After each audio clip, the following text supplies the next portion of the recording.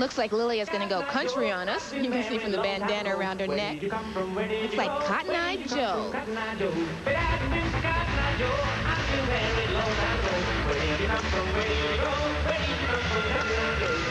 First tumbling pass. Two fronts to a double front. Oh, big step and way off the floor area. Unfortunately, it'll be a deduction there. She still is one of the finest front tumblers there are. Female, really a great tumbler frontwards. To, tumble front, it just takes more energy to gain your speed and to control the landings. That's why you get more difficulty.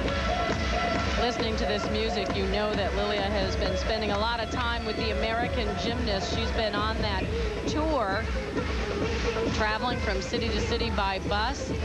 And she said that what she learned is that she's not that different from the American gymnasts. They're all pretty much alike, have a lot in common. Oh, that's true. And one thing they did learn while on tour is how to get a crowd going.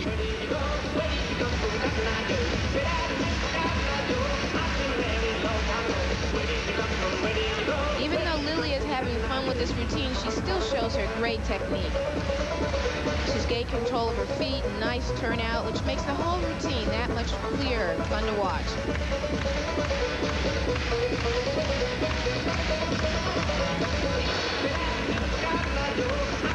Concentrating for the last pass. Round off back handspring, tuck double, and she just rolls out of it. Huge deduction there. You may see that in this competition they can have a landing mat. Oh, that's too bad.